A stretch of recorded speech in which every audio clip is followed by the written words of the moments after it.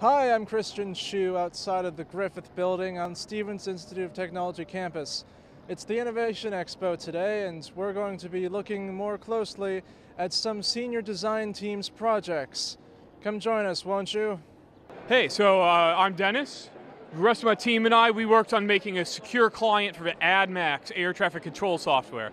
So this software is used on aircraft carriers by the Navy. So we used a uh, MinnowBoard right here. It's like a Raspberry Pi, but more powerful. So we put a customized version of Debian on it, was stripped down and made secure, so that way the Navy can uh, better control what planes are landing and taking off. That's a good question. So essentially, ghost cities is a term that's often thrown around by the media. Uh, what it really means is abandoned cities, but what it actually is uh, is a misnomer. So China's not, they're urbanizing at a crazy high rate, and they plan to have 60% of their society urbanized by 2020. Uh, they're building cities, but there are not many people in them. So the issue is that people think they're abandoning these cities, when in actuality, they basically have big hermit crab shells that will be filling in with people very soon. So my game is an abstract and simplified view like that, in the vein of Settlers of Catan, Ticket to Ride, and even Checkers. So I sort of simplify the concept of Chinese urbanization into a way that people 10 and up can understand. Sure, so TraumaGraph is an application for trauma patients, uh, or trauma patients or anxiety and patients. Um, the goal is basically to help them deal, manage their symptoms of panic attacks uh, while they're happening. So we walk them through exercises that will help them re-engage parts of the brain that are turned off while they're having an attack. Gentlemen, um, your marketing strategy, would you uh, be willing to elaborate on that?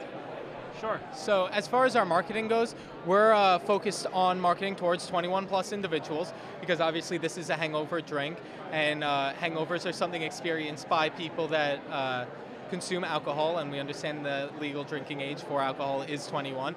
Um, but we also want to target a group of people who don't really have time for hangovers. They're actively involved in any organization that they may be a part of, maybe have a job, and they just don't have the time for a hangover, but they still want to be able to go out and enjoy themselves.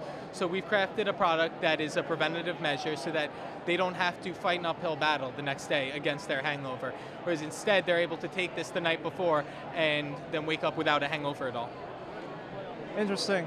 Uh, so uh, it was originally based off of a, uh, a drink to restore minerals uh, to, to sick patients.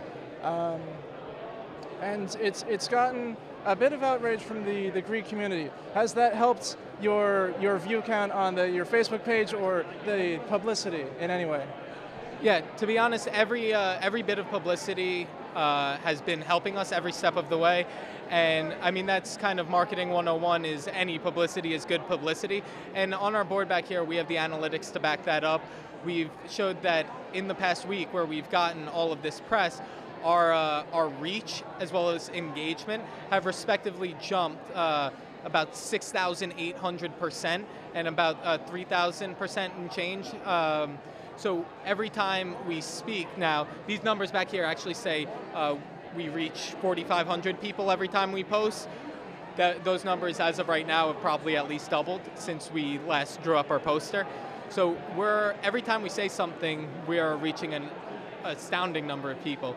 And not only that, but we're engaging them. So about one third of the people that we post and reach, we engage. So they're clicking on our post, they're liking our post, they're liking our page, all that. So we have a very active base, and we are uh, we're very happy uh, as far as all the publicity we've gotten because it's it's just everything we've been taught as Stevens students to exploit.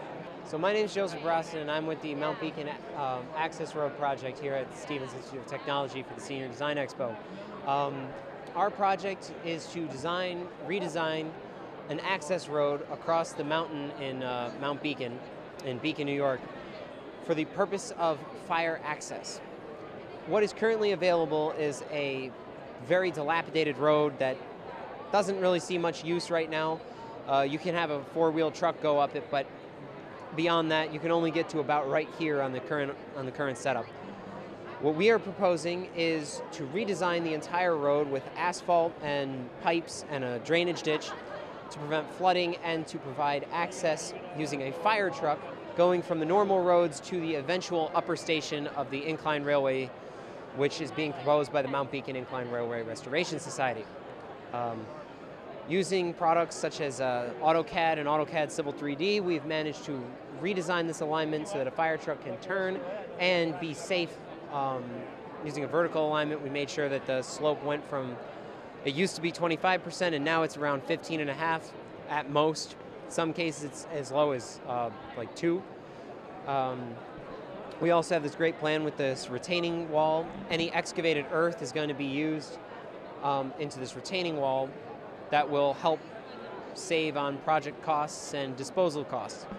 Uh, we shouldn't have to have any unnecessary disposal during this project, which is pretty cool. We also did a TR55 analysis on the whole site um, for the hydrology. We have a 18-inch pipe diameter with 18-inch cover at a 2.5% slope, which is indicated on our diagram.